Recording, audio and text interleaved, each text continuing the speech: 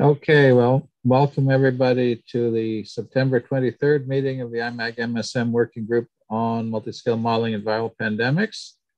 Uh, today, we are going to try a slightly shorter format. We're going to have a joint talk by uh, two speakers from our group from Mexico, uh, and then have the discussion within the one hour. Uh, we'll see how that goes. Uh, I need to remind everybody that the meeting is live streamed and recorded and will be distributed. As always, if you have any ideas, complaints, suggestions, you can reach me and Reinhard at the usual email addresses. Any questions about the web administration, the IMAG MSM the website for the working group, please talk to Jim Sluka. Uh, suggestions, especially for speakers, please uh, talk to Bruce uh, Shapiro, you have our email addresses. We're always happy to hear from people with ideas. Uh, we have our various uh, links. I've been posting the announcements for these meetings on LinkedIn. Uh, there is a LinkedIn channel for the IMAG MSM working groups, which we could use. We have our YouTube channel and of course the IMAG MSM wiki page. Are there any announcements? I guess Reed, you had some things you wanted to talk about, so why don't you? Uh, sure. Let us know. Yeah, so I, have got some some updates. Um, wish they're a little more concrete, but the bottom line is is there has been some talk over the summer about an IMAG meeting that would be hosted by the viral pandemic working group, if I get those details correct. And the, I think the good news is is that there is a lot of interest in having a meeting um, when we went back to the the IMAG contingency, so all the different government agencies beyond NIH, um, there seems to be agreement that there's interest in the digital twins concept. However, digital twins in the context of infectious diseases is not that as appealing to like the Department of Energy, for example, right? And so we've been meeting. We met with uh, I had a few meetings, and Grace Peng and I have been trying to get everybody on board um, for what a meeting would look like that would be inclusive and incorporate interests from these different agencies that include digital, digital twins. Um, so, for example, we had a call with uh, DARPA this morning, um, some DARPA folks this morning to sort of see what their interests are um, and trying to push this a little bit to then follow up with this group in terms of how we could contribute to that meeting. So I keep I keep promoting my interest in infectious diseases being a NIAID that I'm interested in this in the context of infectious diseases and pandemics. And so, you know, that I, I want that to be represented.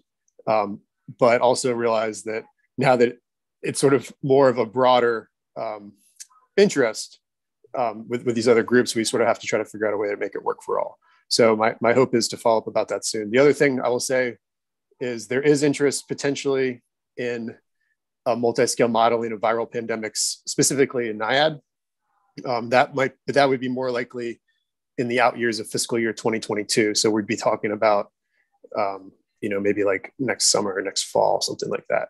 Um, that would be in line with, you know, I think I can't really say much right now because I don't know a lot, but there, there's um, pandemic preparedness um, funding that you know is very broad. It's been in the news i think.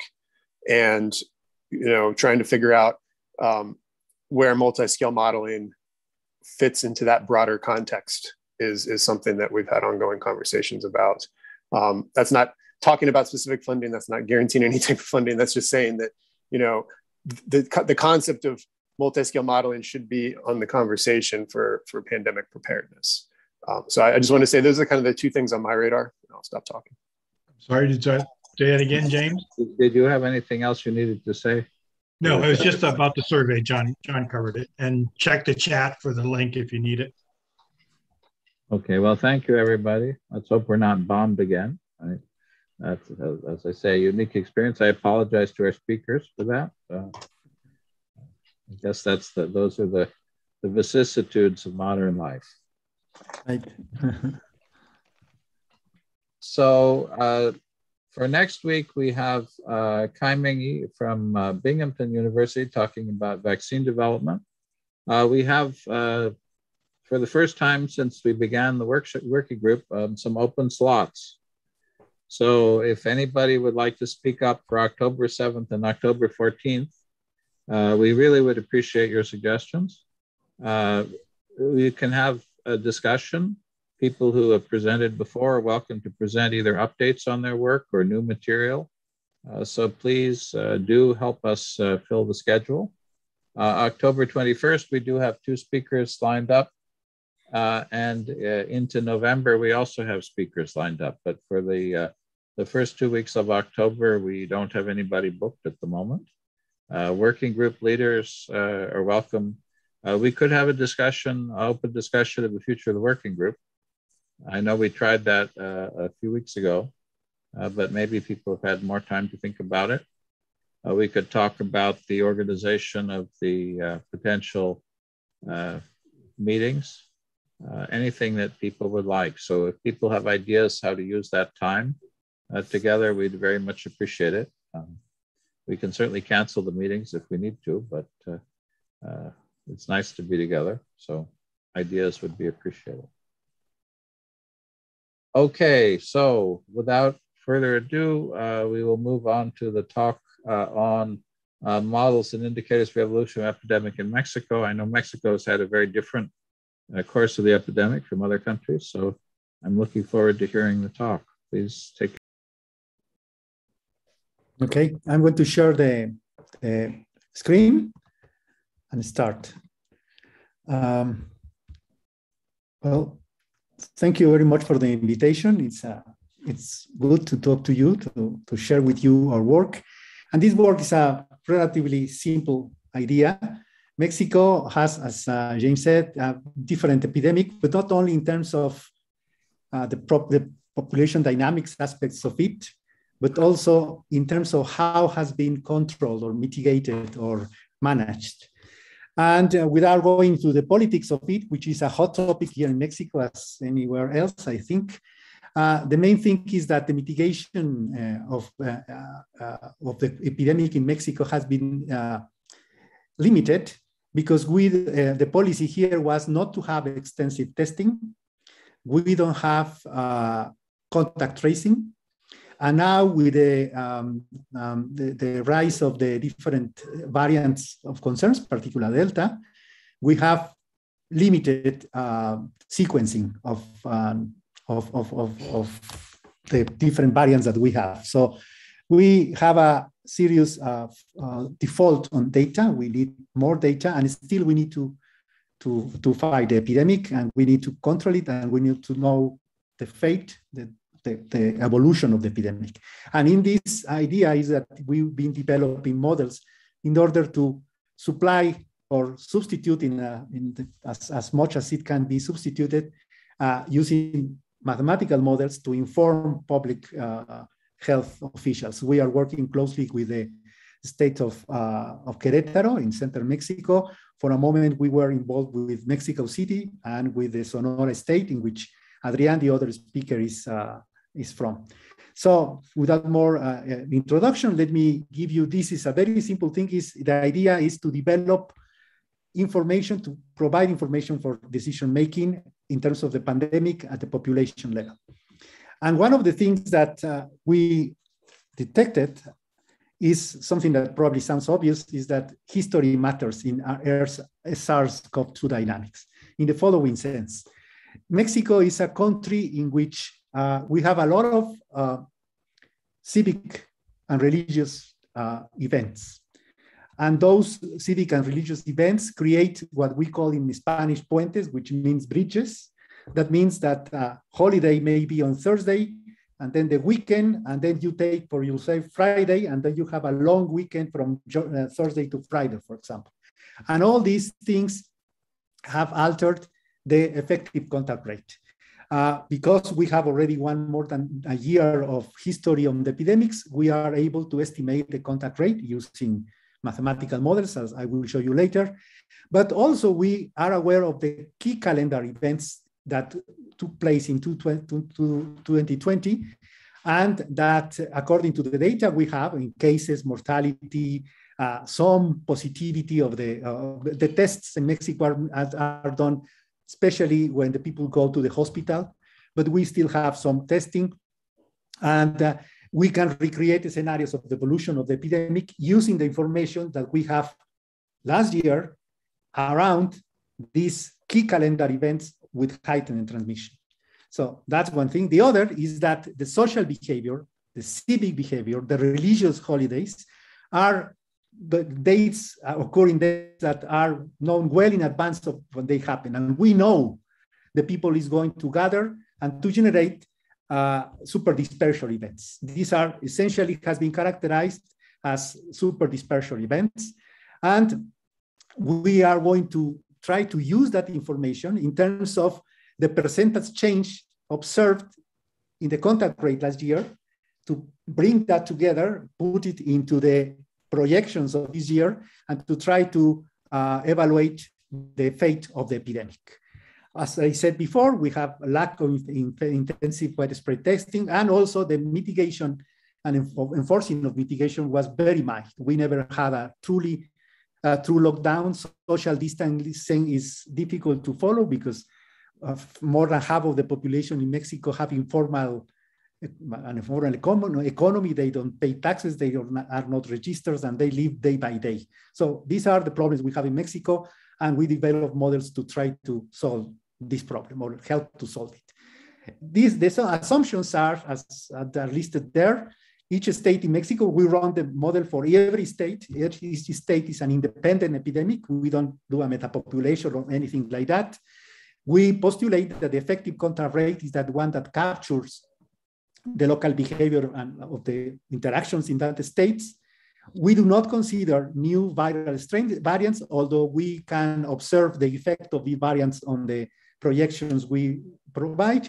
And uh, we only do the update and the projections for 15 days. The most we have managed is one month. We can do more, but obviously, as you know, uh, those projections are very, very controversial. Those uh, are not uh, uncertain, more than controversial, very uncertain.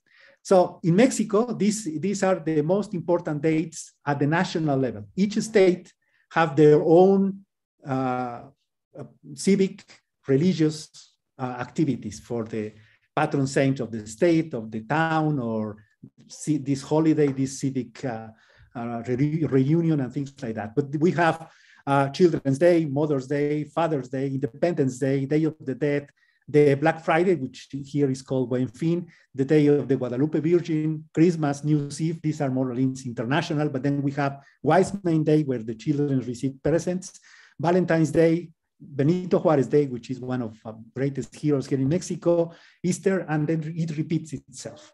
So we are going to essentially look at the uh, effective transmission date, and we are going to look how it changes from date to date, but only taking into uh, account these dates, these key, that's what we call key calendar dates.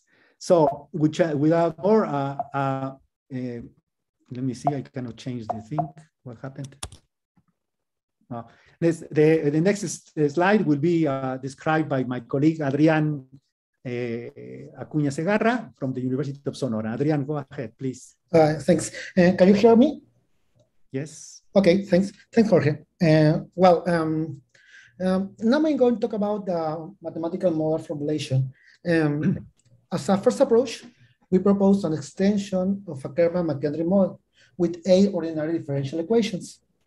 Thus, mm, in addition of susceptible and recovered classes, the model considered an exposed class and three classes of infected individuals, uh, that is asymptomatic, uh, symptomatic, and reported. Once this is reported, we follow Mexican health policies uh, we consider that infected individuals are effectively isolated and are no longer participants in the process, in the transmission process.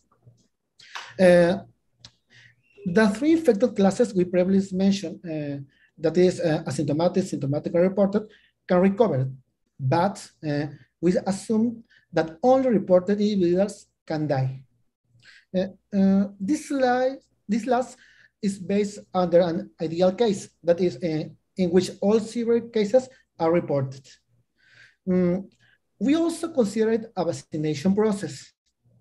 Uh, only individual, uh, pardon, that's only susceptible individual can be vaccinated with an effective vaccination rate. In the same way, uh, both vaccinated and reported individuals will eventually return to the susceptible state after a certain, possibly different immunity period. Okay.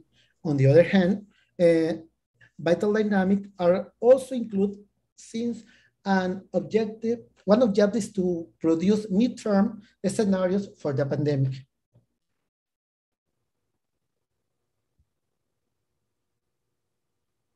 sorry. Now, uh, please, for uh, the previous slide. Okay. Thanks. Uh, as you can see at the bottom of the slide, we can observe the basic reproduction number, uh, which is calculated by next generation matrix method. Uh, here, uh, we can observe contribution of asymptomatic and symptomatic infected people on the disease transmission dynamics. Okay, uh, the next, please. Okay. Um, it's uh, highly important to stress that the transmission contact rate is uh, for us a time-dependent function. Um, this function is defined by a piecewise uh, polynomial interpolated polynomial. Uh, to build this polynomial, we set some points at different times, which were estimated later.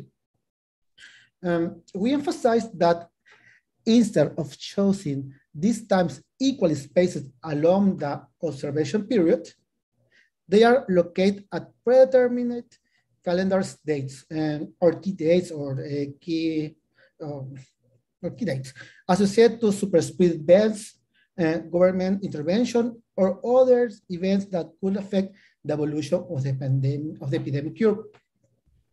On the left, the figure shows a diagram of the structure of this rate as, as can you see here. To estimate the different points of the transmission contact rates, we use a data of federal national records from daily report case, and deaths, and a Bayesian inference framework.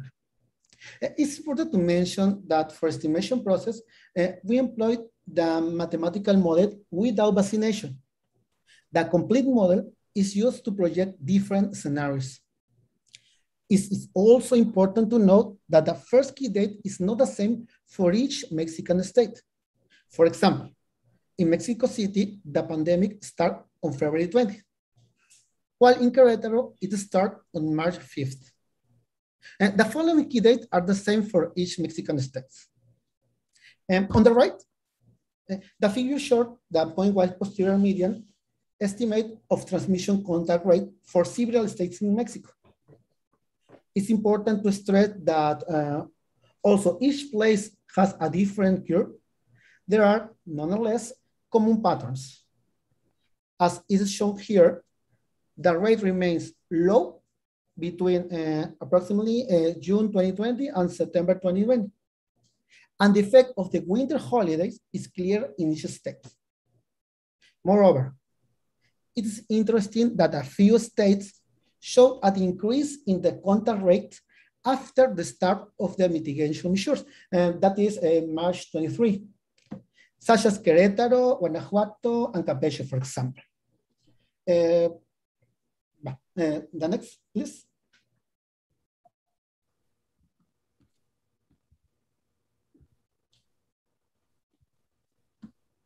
Okay, uh, this is your for her on me. As you like. You want to do it? Uh, uh, you please. Okay. Well, with this uh, framework, we this is an example of the projections that we have. This is the epidemic in Mexico City. The red line is the median of the model estimated, uh, the uh, usual uh, confidence limits. And uh, in blue is the data that we use for the estimation. And in black are, is the data that we use for projection. And the color codes, this is simple an amplification of this part. The color codes indicates the red, the more red, the redder the area is the area in which the model predicts the epidemic to behave if we're, we're following the same changes in the contact rate that last year at the same time of the year, those same months. So uh, as you can see, this, this uh, was done cutting the date until May 10th. And then we did the projection. The projection is rather good. The data behaves more or less as the projection. This indicates that the people in Mexico City, one interpretation, they were behaving very much like at the same time, but the last year. However, uh, we computed the same, same model, but now using data until uh, the, the, middle of June. And then, uh, the, or again, the more, the redder the area uh, is the area in which the, the projection uh, says the population should, the, the epidemic should behave if the same behavior reflected by the contact rate uh, last year was you've been uh, followed now. However, by June, uh, middle of June, as you can see, this does not work.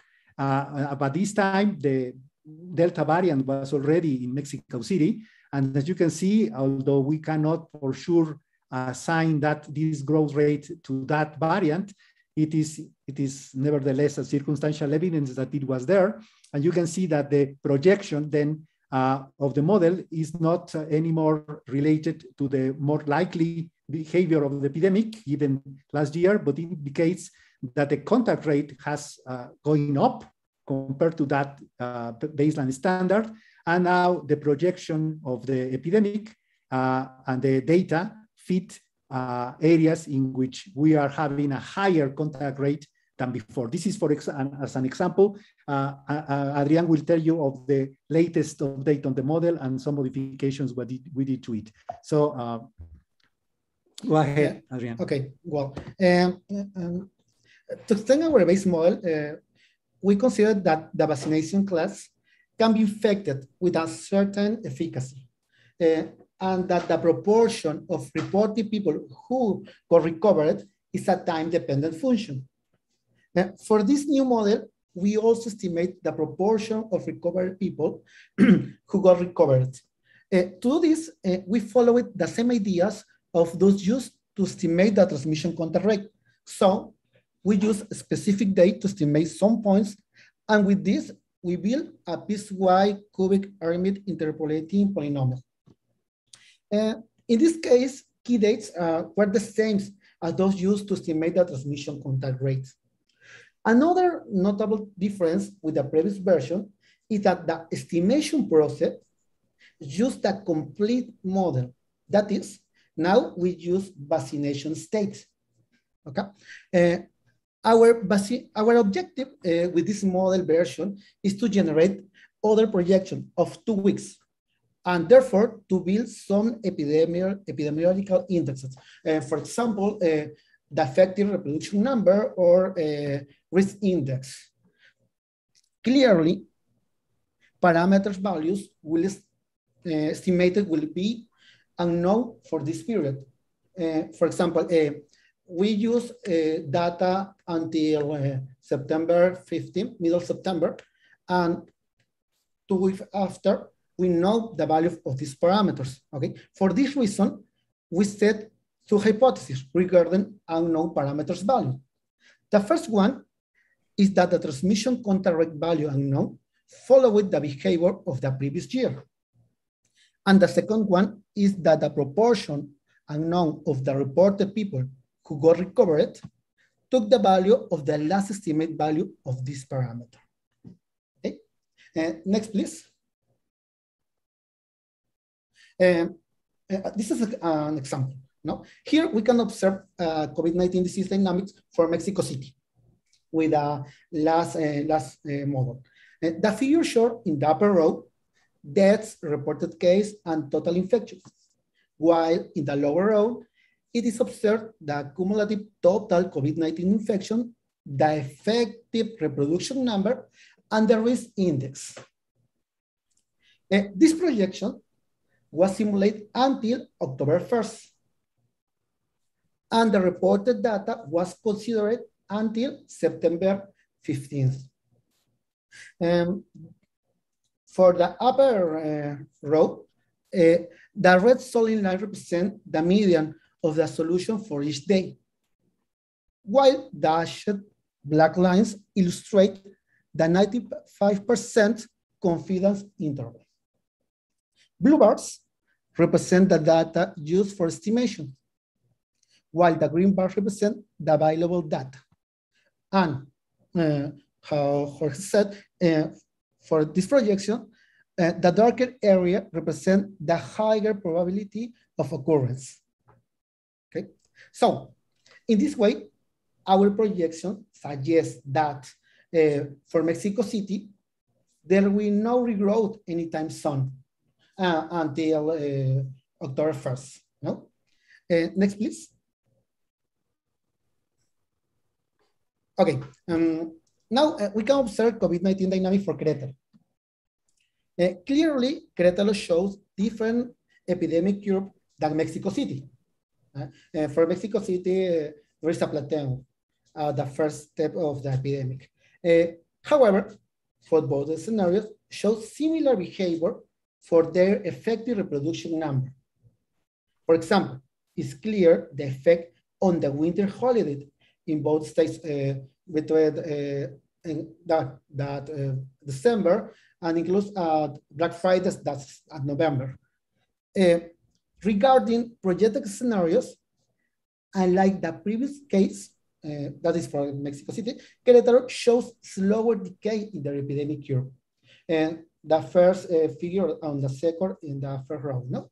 Um, another difference than Mexico City scenario is observed in the risk index. Here, we observe that for October 1st, these values remains over 50%.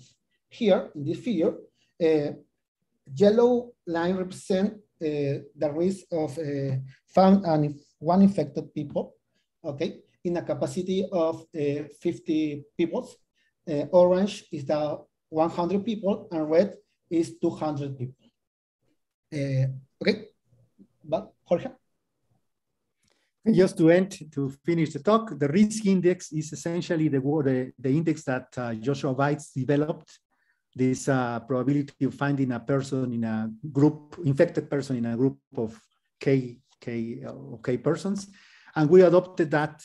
Uh, that index depends on the active case, the, the proportion of active cases in the in the population. Since we do, since we do not have uh, seroprevalence data, the latest uh, um, information on that at a national level here in Mexico dates from August last year. So we don't have any updated base uh, database on that. We use the estimations of the model to compute the, the, total true number of cases. And then we apply the methodology of Joshua Weitz and we form these heat maps. And these are being used in Mexico to, for example, guide our um, reopening of schools because they are indicators of risk at a municipal, county in the United States terminology or state level. We use two models. This is uh, based on the model we just showed you.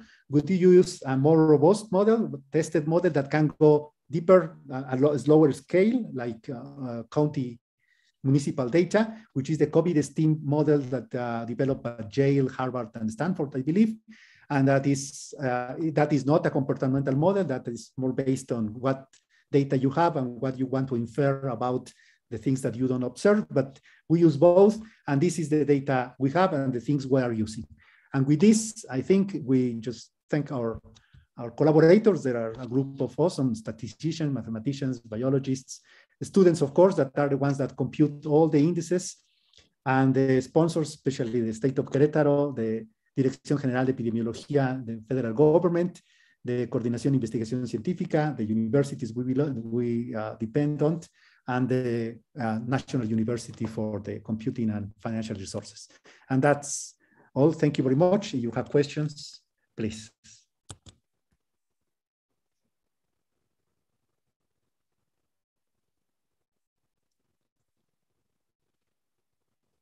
Questions?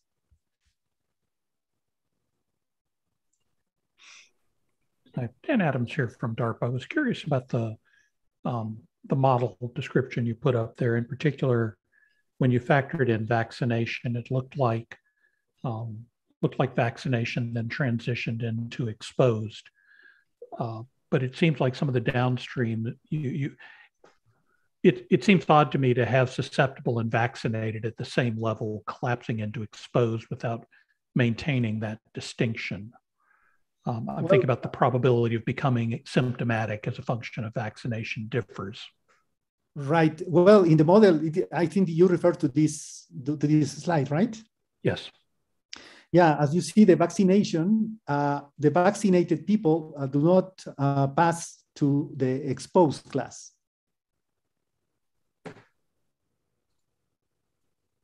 Let me minimize something obscure. So they, they, uh, probably that's something that we should look at. You are correct, because in this case we assume that the vaccination people once is infected because the efficacy of the vaccine is low, they go to the infected class without passing through the uh, exposed population. That's one, that's one hypothesis. So we don't distinguish, that's, that's why we don't distinguish in the exposed class if they come from vaccination or susceptible, because we do this, this assumption on, uh, on the on the I, I, see. So the, the assumption is the yeah. vaccination is either 100% or 0%. Yeah, and I think the, the, the problem here is the, the diagram, right? That has a, uh, no, no, no, I'm, I'm wrong. I'm wrong. I'm wrong. I'm sorry. Yes, we have transmission. Yeah, sorry, I haven't seen this. Sorry, I was thinking in the previous model. No, yes, this is, uh, we do we do have vaccination going into exposed class. So you are suggesting we should we should differentiate between exposed coming from a natural infection and exposed coming from a vaccination uh, event, right? Okay, yeah. Based on what I read, maybe, although frankly, I'm not at all sure it would affect your outcome given the just limitations of the model and the data. I just wanted to understand. Okay, yes, we, are, we, we, we, we, should look at it. Thank you very much. Yes. Sorry for my confusion before, yes. Adrian, I don't know, we want to say something about it?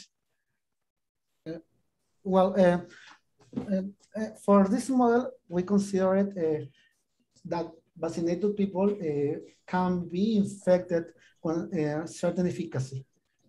Okay, but for the assumption for us is that people that is vaccinated that's uh, same to susceptible people when the vaccine is not efficacy for us. For you, for you please, sorry.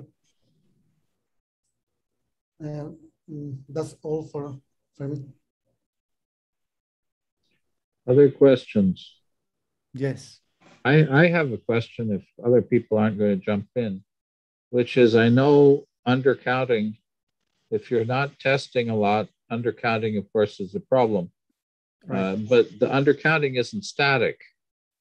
The, the degree of undercounting can change in time. How, is that something that you you think you can see in your data, or is that is that fundamentally you're assuming the level of undercounting is more or less constant in time? Well, the the what we are use uh, here is the following: the is a reasoning more than a, anything because we know by fact that the subreporting in Mexico is large. We essentially uh, uh, the reporting of cases, especially last year, was done of the people that got to the hospital and or, a health center and was diagnosed and was uh, recorded. But many, many, many people did not go to the hospitals. They it did not go tested, so it's not reported. Our um, our excess deaths in Mexico, some estimates go to uh, about half a million uh, uh deaths along the epidemic although the data recorded by the health authorities based on cases that they reported is less than 250,000 or something like that. So we have a huge problem with underreporting. So to, to, to prevent this problem, we, that we use this statistical model, the Covidestim. This model is based on the different uh, probability distributions of transitions of the different stages of the disease, uh, uh, uh, delays in reported cases, and things like that. Some of these distributions we can compute from the data in Mexico. Others we have to use those calculated or estimated in other countries. And with that, we project the total cases and uh, wait is hoping because we don't have a proof of that. We don't we don't have a way of testing that we are doing a good job in solving the problem of subreporting using the total uh, the total number of cases using these probability distributions we assume that we have a better estimate of the total number of cases even under under reporting and uh, these estimates co coincide with many of the estimates that are done in a very um, how can i say uh, empirical or heuristic way I, by the epidemiologists and, uh, and hospitals and, uh, and, and the dependencies that we have in Mexico about the to true no total number of cases. And uh, given that they are more or less in, in, the same range, we use this estimation. We do the same with this model. We uh, use the, that to estimate the total number. We have confidence bands. The uncertainty in many estimations is large, but this is what we use. So we have a deficiency there, yes. And we don't have way to fix it. Other questions? I, I have one more people aren't going to ask. So you have a duration of resistance, which is one over omega here Although I think the equation and the, uh, the equation and the uh, diagram don't quite correspond. So, uh, and so what is the what is the, your estimate? Maybe you spoke or talked about this, but when you run your model, what mm-hmm. do you get as your uh, estimated uh, duration of resistance? How uh, long does your your your your how long typically when you run when you do your parameter fits? What what do you get as your estimated duration of, uh, of uh, resistance after infection. This, this is, uh, you mean the, uh, this, this uh, R, the R compartment? Well, so I'm looking, you have R, right, you recovered yeah. But R is, R is not resistant, is the recovered. Uh, right. Okay. But they're, but they're not susceptible. So they return to susceptible. susceptible at a rate omega and I'm wondering what what your estimate of the duration of uh, immunity is based on your model. Okay, uh, uh, uh Adrian, would you like to answer this? Okay, but uh, we consider uh, we we, fix, we fixed some parameter values. we around all parameters of this model, we only estimate two parameters: beta and alpha. omega is fixed, and we consider an immunity period of half a year. Uh, we talk, uh, with is this uh, uh, a value, but we can consider other other periods. We now I shoot for other values. Um, but so you haven't systematically explored the effect of of that of that of, moving from six months to nine months or four yeah. months. Uh, uh yep uh, uh, oh, uh, we explored uh, about it but we observed um, the natural behavior is the the epidemic that the the maximum value of the incidence or prevalence is a more moved to the left, to the right no? For we we we delayed more time in reach the maximum value of prevalence but uh, this is, uh, is, is uh, there are really, really difference in these values, but we prove start our simulation with this value. Other questions?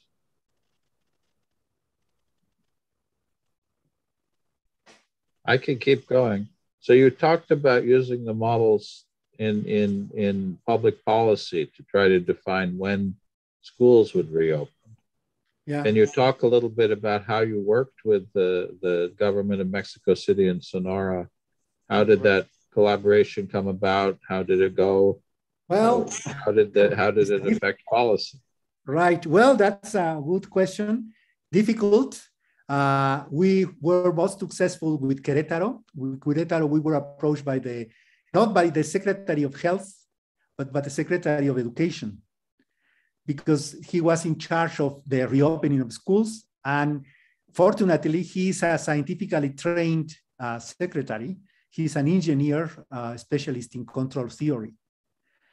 So he, he dedicated himself to the administration of uh, uh, schools and especially technological universities, but we, he got into this uh, post and he uh, has this mentality and with these ideas, he, he uh, uh, asked us to give a presentation first to ca calculate in Mexico use this traffic light, semaphore we call it in Spanish, this traffic light of green, yellow, and red, depending on certain indicators.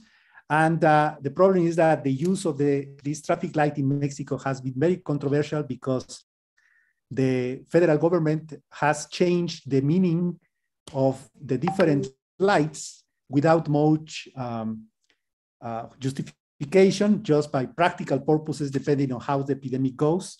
And that created a lot of uh, skepticism in the overall society about the meaning of this of the traffic light. We were working with our models using these total incidents, not, not only the, the traffic light is based essentially on the reported cases, reported deaths, and things that can be counted and observed. And our model is using the data to project and estimate the total number of cases. And that uh, caused to him curiosity. And he approaches, we work we have a dashboard and a site in the National University where we publish these estimations. And he liked the, um, the, in the risk index of this uh, Joshua Weitz. It, it is very intuitive, it is interpretable, and the people can really grasp the meaning of going to a certain place with so many people and getting the risk of finding one sick there. And with this thing, together with uh, statistics on how the Querétaro uh, epidemic goes, they designed a web website in which they put this information. It is very clearly explained in terms for the for the normal people, not technicism. It says uh, what is the level of risk calculated with the model uh, and the risk index they, they indicate which municipality have what risk, what does it mean, the interpretation of that, what are the measures that have to be taken by the population, and they, by the side, are keeping um, statistic of the number of cases in schools, and how many classrooms have been closed or how many schools have been closed. And with this, they put together with this information, every week they put the schools that did a good job and the schools that may need to reinforce their, their uh, strategy for controlling the epidemic. And we've been opening, the, the schools opened on uh, August 30th. And up to now, we are winning. The, not, I mean, it's working. We have a lot of detractors, uh, but uh, the models are working.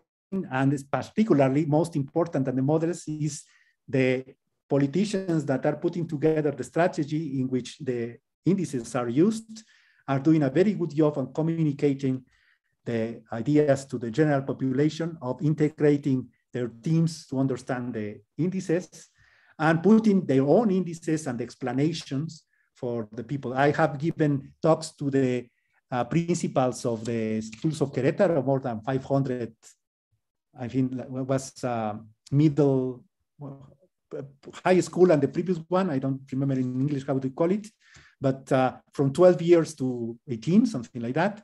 And for the principals of those schools, explaining this, this, uh, these indices and how they are interpreted and what does it mean to why the epidemic curve goes up, why it goes down, and all these explanations in a very, very simple terms. And it's been working. In the Mexico City, the, uh, the epidemic was in charge in the beginning on the Secretary of science of the Mexico City. And she is also a scientist, a biologist, but uh, we don't we didn't have quite a, the, the communication, and they have their own development for doing things.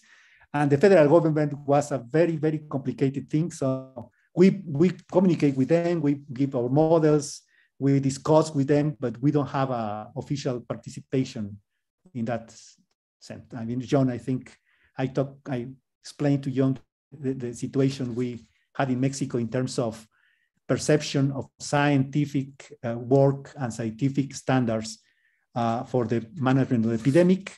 And that was a problem with, because as we have heard in some talks in, uh, here, uh, the political use of the models and using them as the incarnations of truth brought about very negative uh, uh, feedback when reality hit. So we have that problem. Uh, but in terms of the Querétaro, we have a small success and we are very happy. Unfortunately, the government changes in the state government changes on October 1st. So probably our, our indices will disappear together with the old administration, but that is life. And in terms of Sonora, I think uh, uh, it was something similar. In the beginning was, uh, I, I think Adrian can tell us better about it, but also was an ephemeros uh, collaboration, I think.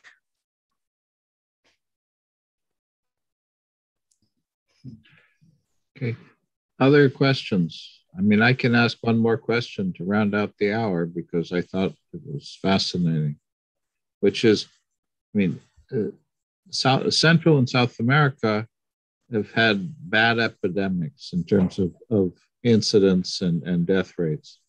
Are, are there lessons from Mexico that oh. could be applied in Colombia, Peru, uh, and other? Are, is there something? Are there are there social organizations or political issues that would be similar that would allow this particular approach to be valuable in in other places? Well, uh, I think each country has. There is not much, more, much communications among our countries. That's unfortunate. Uh, we, because Adrian, Adrian is uh, from Peru, he's working in Mexico, but he's from Peru. And we got involved with uh, an um, um, a datathon, they call it, a kind of workshop for looking at the epidemic data and uh, organized by the government of Peru. We participated indeed with these indices, trying to do that. We did that for the Peruvian, for the Peruvian uh, states, but uh, the emphasis there were uh, trying to get a dashboard that will show the data as it is reported. They were not very interested in projections or risk indices, but rather on showing the describing the epidemics in a uh, data visualizing visualization format. Uh, I don't know. I really I'm not in contact with the health departments of any of those places. It's through the uh, researchers, and I dare say that at least in my from my perspective and knowledge, the uh, communication between scientists working in these areas uh, on, regarding the epidemic is limited. It's mainly uh, limited to academic um, meetings. I have even given many talks in Colombia, in Chile, in Brazil, in many, many places, but it's academic. There is no link to the other side there. And here it was very difficult. It was uh, not was it wasn't easy to to go. I mean, we started working with the state of Querétaro uh, probably in March, but we've been working in the epidemic since March last year, and it took like one year to to convince few, very few people, and only one in terms of effective usage of our results to to make a team. But we did it, and it was this combination of uh, situations, and uh, that's a reality of uh, Central America and Mexico in this moment. And from my point of view, of course, and experience. I didn't mean to say that that that this every every country has and every region has its own special issues. Uh, but but I thought perhaps your comment about the, the, the presence of these very large public events might be something that was shared by uh, yeah. the, the, the problem that we have, uh, James, is that um, in the mitigation measures are very limited. Here, people it's uh, has a very low economic economic um, standard, uh, they have to work in the streets and uh, low level of uh, score, uh, uh, education and all these things mix in terms that people is in the streets and it's very difficult to keep them out. I mean, I guess I was wondering because I uh, years ago used to visit in, in Bogota quite a bit, and the, the city government in Bogota was very interested in science based methods to improve uh, public health and safety. Mm-hmm. And so I don't know if that's still the case because the government's changed, as you say. Yeah. But, uh, it's it's I guess as you say the victories are small, but it's important if you can if you can get one yeah. state to, to respond. That's impressive. Yeah, and we are hoping that after our intervention, we will keep our good a good perspective, a good opinion from those guys because in the beginning. Uh, the guys that participated in the model in Mexico uh, are, are, I mean, very hard time for them. I mean, they have no no credibility. And that is the problem. We, we need to protect our work and to, to see how we can manage failures and successes, and both of them to contribute to a good appreciation of what science can do in good terms, in the positive terms. And so we are trying to keep that good opinion because that will allow us probably to continue informing the government or uh, participate in some preventions. We would like to start planning for the next pandemic because it will come and uh, we should be there, I guess. Okay, I know you had to leave at four. Yes. So I wanted to thank you very much for a very stimulating talk. Thank you to everybody who participated. Uh, I will edit out the Zoom bomb in the recording. Okay. uh, so you'll have a clean recording of this. And I look forward, we have a meeting tomorrow. Is that right, uh, Bruce and Reinhard for steering committee? Mm, no, I don't think so. No? Okay, then I'm no, the steering committee met last Friday, and the, the our uh, subgroup is uh, postponed for another two weeks. Okay, great. Okay, so no meeting tomorrow. Thank you. Thank you, everybody, for uh, joining you. us. Appreciate it very much. Thank you for a very stimulating talk, and I'll see you next week. Thank you very much. See you. Thank you very much. Bye.